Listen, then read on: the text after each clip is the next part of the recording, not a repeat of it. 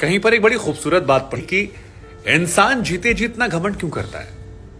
मतलब देखिए ना, आपको दुनिया में लाने वाले शख्स कोई और है। आपका नाम रखने वाला कोई और है। आपको ज्ञान देने वाला, आपको चलना सिखाना, खाना खाना सिखाना, पढ़ना सिखाना, किसी और ने सिखाया आपको।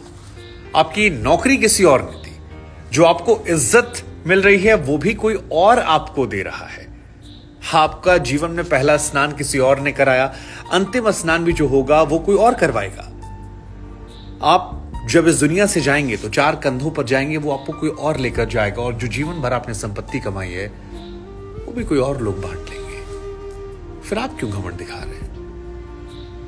सोचने वाली बात है। सोचेगा ज़रूर, और शायद हो सकता है कि आपको जीवन की अहमियत समझ में आ जाए, और जो ये मुगालते में आप हैं गुमान आपने पाल रखा है खुद के मैं मैं होने का शायद आप उससे दूर हो जाए। आप इंस्टाग्राम पे कोई तस्वीर डालिए आपको सौ लोग पसंद करेंगे। लेकिन वही तस्वीर अगर आप अपनी स्टोरी पर लगा लेते हैं तो फिर आपको 300, 400, 500 या हज़ार लोग दिखेंगे। कहानी का सार ये है कि बहुत सारे लोग आपको लाइक भले ना करें लेकिन वो आप पर नज़र रखते अच्छा काम करते रहो।